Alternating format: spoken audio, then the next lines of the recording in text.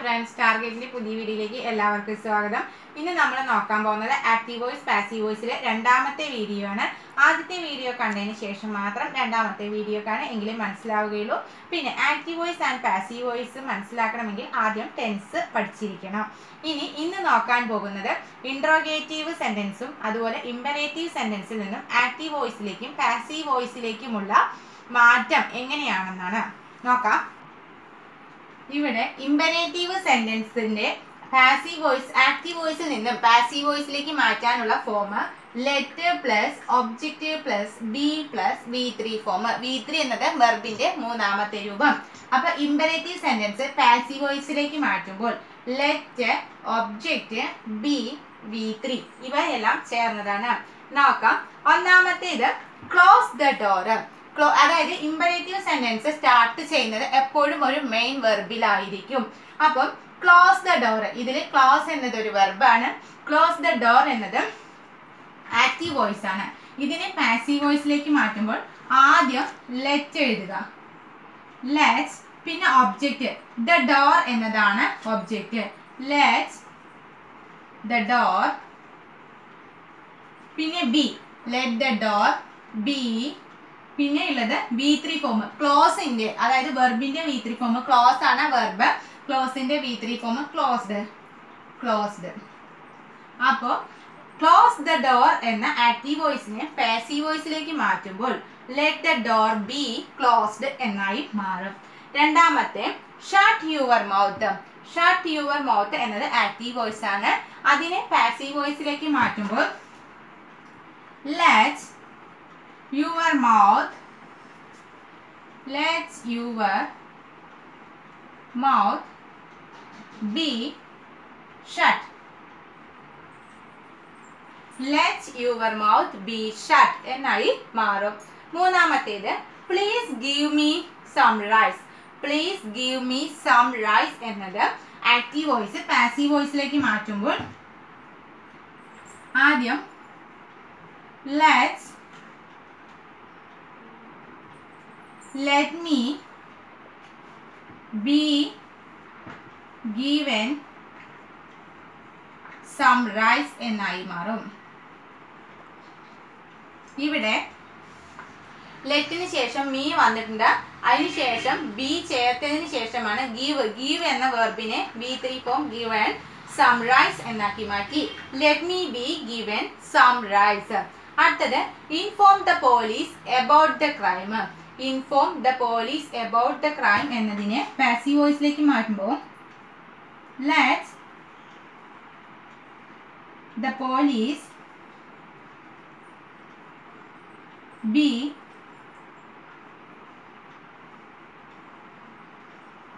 informed the crime let the police be informed the crime എന്നായി മാറും. Let the police be informed the crime എന്നായി മാറും. ഒരിക്കൽ കൂടി നോക്കാം. Imperative sentence close the door close the ഡോറിന് let plus object plus be plus V three എന്ന രൂപത്തിൽ എഴുതിയാൽ.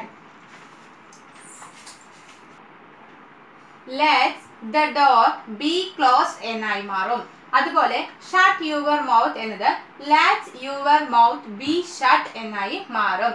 Please give me some rice എന്നത് let me be given some rice എന്നായി മാറും.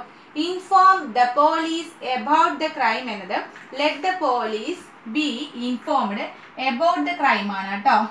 ഇവിടെ എബൌട്ട് ഉണ്ട് ശ്രദ്ധിച്ചില്ല. എബൌട്ട് ദ ക്രൈം എന്നായി മാറും. അടുത്തത് post this letters let passive വോയിസിലേക്ക് മാറ്റുമ്പോൾ let this letters be posted be posted എന്നായി മാറും. Let this letters be posted എന്നായി മാറും. Post these letters let these letters be posted ഇനി അടുത്തതും ഒരു ക്വസ്റ്റ്യൻ അല്ലെങ്കിൽ ഇൻട്രഗേറ്റീവ് സെന്റൻസ് രണ്ടും ഒന്ന് തന്നെയാണ് ക്വസ്റ്റ്യൻ ഓർ ഇൻട്രഗേറ്റീവ് സെന്റൻസിനെ പാസീവ് വോയിസിലേക്ക് ആക്കി മാറ്റുമ്പോൾ ആദ്യം വരുന്നത് ഓക്സിലറി വെർബ് ആയിരിക്കും. അതിനുശേഷം ഒബ്ജക്റ്റ് അതിനുശേഷം ബീയിങ് പിന്നെ വെർബിന്റെ മൂന്നാമത്തെ രൂപം ബൈ ഏജന്റ് ആയിരിക്കും. Is he studying Malayalam is he studying Malayalam എന്നത് എങ്ങനെ എഴുതാം? ആദ്യം ഓക്സിലറി വെർബ് വരണം എന്ന് പറഞ്ഞു. അപ്പോൾ ഈസ് പിന്നെ ഒബ്ജക്റ്റ് മലയാളം. ഈസ് മലയാളം. അതിനുശേഷം ഈ സ്റ്റഡിയിങ് എന്നതിന്. സ്റ്റഡിയിങ് എന്നതിന് സ്റ്റഡി പ്ലസ് ബീയിങ് ആണ് സ്റ്റഡിയിങ് ബീയിങ് എന്നതാണ് സ്റ്റഡിയിങ് അപ്പോൾ ഈ ബീയിങ്ങിനെ വിഭജിച്ച് ഇവിടെ എഴുതണം. Is Malayalam being is Malayalam being പിന്നെ വെർബിന്റെ മൂന്നാമത്തെ രൂപം സ്റ്റഡിയുടെ മൂന്നാമത്തെ study study is Malayalam being studied by ഇവിടെ he തന്നതുകൊണ്ട് agent him is Malayalam being studied by him എന്നായി മാറും. Is Malayalam being studied by him അടുത്തത് are they playing cricket are they playing cricket ഇവിടെ ക്രിക്കറ്റ് സിംഗുലർ ആണ്. അപ്പൊ ആറിന് പകരം is വരും. ഈസ് ആർ ദേ പ്ലേയിങ് ക്രിക്കറ്റിൽ ക്രിക്കറ്റ് സിംഗുലർ ആയതുകൊണ്ട് cricket first വരണല്ലോ is cricket is cricket playing എന്നത്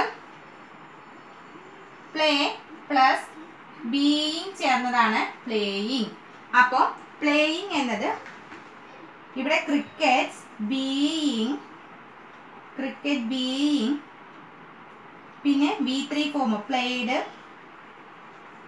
played by agent they ആയതുകൊണ്ട് ഏജന്റ് ഡമ്മായി മാറും. ദേ എന്നത് ഡമ്മായി മാറും. അപ്പോൾ ആർ ദേ പ്ലേയിങ് ക്രിക്കറ്റ് എന്നതിനെ പാസീവ് വോയിസിലേക്ക് മാറ്റുമ്പോൾ is cricket being played by them എന്നായി മാറും. അടുത്തത് ഡു യു റൈറ്റ് പോയംസ് ഒരു ക്വസ്റ്റ്യൻ വേർഡിൽ അല്ലെങ്കിൽ ഇൻട്രോഗേറ്റീവ് സെന്റൻസിൽ ഡു ഫോമിലാണ് ആരംഭിക്കുന്നത് എങ്കിൽ അതിനെ പാസീവ് വോയിസിലേക്ക് മാറ്റുമ്പോൾ ബി ഫോമിലാക്കണം ബി ഫോം എന്ന് പറയുന്നത് is am are is am are was were എന്നതാണ്.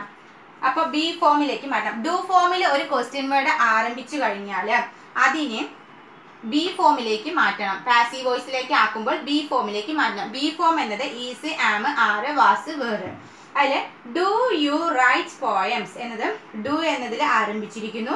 അപ്പോൾ അതിന് ആർ എന്നാക്കാം. കാരണം do പ്ലൂരലാണ് are poems are poems written റൈറ്റിന്റെ V three form written by you you തന്നെയാണ്. By you are poems written by you എന്നായി മാറും. Are poems written by you എന്നായി മാറും. അടുത്തത് does he eat biryani biryani singular does ഡസിന് do ഫോമാണ് does അതിനെ B ഫോമിലേക്ക് മാറ്റുമ്പോൾ ഈസ് ആവും. ഡസ് എന്നത് ബി ഫോമിലേക്ക് മാറ്റുമ്പോൾ ഈസ് ആവും. Is biryani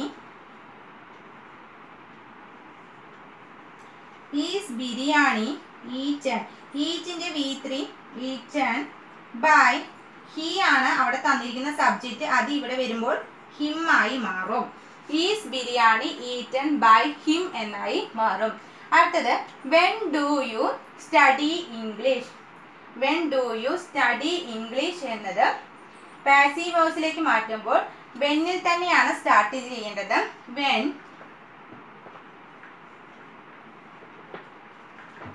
English when do ഡൂയിനെ നമുക്ക് ബി ഫോമിലേക്ക് മാറ്റണം.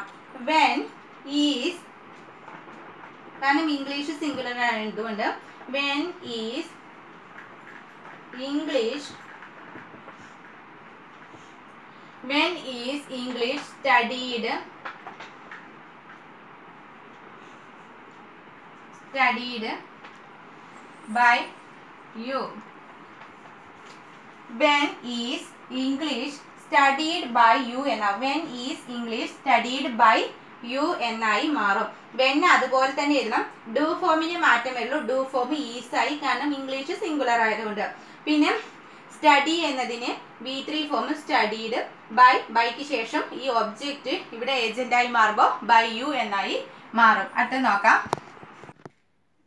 അടുത്തത് how are they playing football ഇവിടെ പ്ലേയിങ് എന്നതും പ്ലേ പ്ലസ് ബീയിങ് ആണ് playing how are they playing football how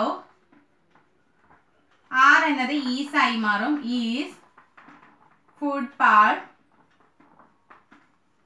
being playing എന്നതിനെ വിഭജിക്കുമ്പോൾ being played played V three played by they എന്നത് ദമ്മായി മാറും. അടുത്തത് who open the window who plus verb who plus verb main വെർബും വന്നു കഴിഞ്ഞാൽ അതിനെ നമ്മൾ ബൈ ഹൂം എന്നാക്കി മാറ്റണം. ഹു ഓപ്പൺ അതായത് ഹു പ്ലസ് മെയിൻ വെർബ് വന്നു കഴിഞ്ഞാൽ അതിനെ ബൈ ഹൂം എന്നാക്കി മാറ്റണം. പിന്നെ ഈ ഓപ്പൺ എന്നത് വി ടു ആണ്. ഓപ്പൺ എന്നത് വി ടു ആയതുകൊണ്ട് വാസ് ഉപയോഗിച്ചു. ബൈ ഹൂം വാസ് പിന്നെ ശേഷം the window opened by whom was the window opened എന്നായി മാറും. അടുത്തത് ഒരു നെഗറ്റീവ് ഫുട്ബോളിൽ സ്പെല്ലിംഗ് മിസ്റ്റേക്ക് ഉണ്ട്. അടുത്തത് ഒരു നെഗറ്റീവ് സെന്റൻസിനെ എങ്ങനെ നമുക്ക് ഒരു പാസീവ് വോയിസിലേക്ക് മാറ്റാം. നെഗറ്റീവിലായ ഒരു ആക്റ്റീവ് വോയിസിനെ എങ്ങനെ പാസീവ് വോയിസിലേക്ക് മാറ്റാം എന്ന് നോക്കാം. I have not written the letter I have not written the letter ഇതിൽ ദ ലെറ്ററിൽ സ്റ്റാർട്ട് ചെയ്യണം. The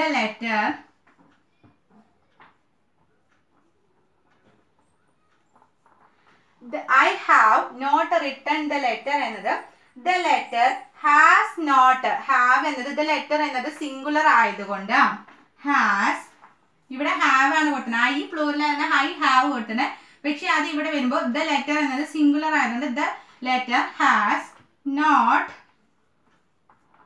written written തന്നെയാണ്. കാരണം അത് വി ത്രീ ഫോം ആയതുകൊണ്ട് ഹാസ് നോട്ട് റിട്ടേൺ ഐ ആയതുകൊണ്ട് me by me. Written by me. The letter has not written by me എന്നാവും. ഇവിടെ നോട്ട് ചേരുമ്പോൾ നോട്ടിന്റെ കൂടെ നമ്മൾ ബീൻ കൂടി ചേർക്കണം. Not been. ബീൻ എന്ന് കൂടി ചേർക്കണം. The letter has not been written by me എന്നായി മാറും. അതിനുശേഷം അടുത്തത് he does not sing sung songs he does not sing songs എന്നതിനെ പാസീവ് വോയിസിലേക്ക് മാറ്റുമ്പോൾ songs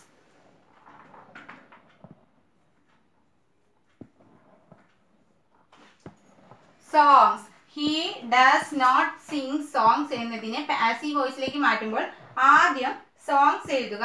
അതിനുശേഷം സോങ്സ് എന്നത് പ്ലൂറൽ ആയിരുന്നു. ഇവിടെ ഡസ് ആണ്. ഹീ ഡസ് എന്നാണ് കൊടുത്തിരിക്കുന്നത്.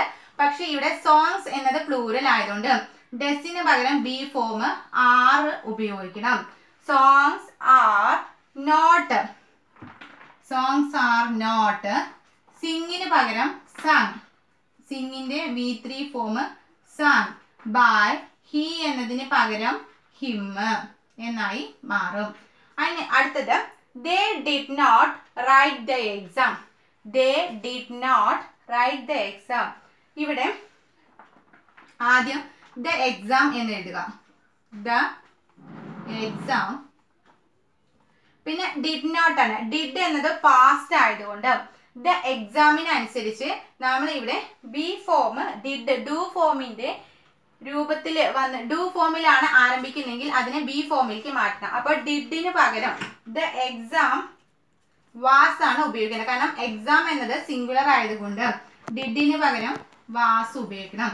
The exam was not the exam was not അടുത്തത് റൈറ്റിന്റെ വി ത്രീ ഫോമും written written the exam was not written they ആണ് തന്നിരിക്കുന്നത് ഡേക്ക് പകരം റിട്ടേൺ ബൈ ഡം എന്നായി മാറും. അപ്പോ they did not write the exam എന്നതിൽ ദ എക്സാം ദ എക്സാം എന്നത് സിംഗുലർ ആയതുകൊണ്ട് ഡിഡിന്റെ ഡു ഫോം ആയതുകൊണ്ട് അതിനെ ബി ഫോമിലേക്ക് മാറ്റുമ്പോൾ ഈസ് ആമ ആറ് വാസ് വേറെ വരും. അപ്പോൾ ഡിഡിന് ഡിഡ് പാസ്റ്റ് ആയതുകൊണ്ട് അതിലെ ബി ഫോമിലെ സിംഗുലർ വാസ് ആണ് ഇവിടെ ഉപയോഗിക്കേണ്ടത്. പിന്നെ ഈ നോട്ടോ അതിനുശേഷം റൈറ്റിന്റെ വി ത്രീ ഫോം റിട്ടണും. പിന്നെ ബൈ ദേക്ക് പകരം ദമ്മും ഉപയോഗിച്ച അതിലെ നെഗറ്റീവ് വേർഡ്സിനെ പാസീവ് വോയിസിലേക്ക് മാറ്റാനുള്ള രീതി കിട്ടും. ഇപ്പോൾ ആക്റ്റീവ് വോയിസ് പാസീവ് വോയിസ് മനസ്സിലായി എന്ന് കരുതുന്നു. മനസ്സിലായാൽ കമന്റ് ബോക്സിൽ രേഖപ്പെടുത്തുക. ഇല്ലെങ്കിലും രേഖപ്പെടുത്തുക.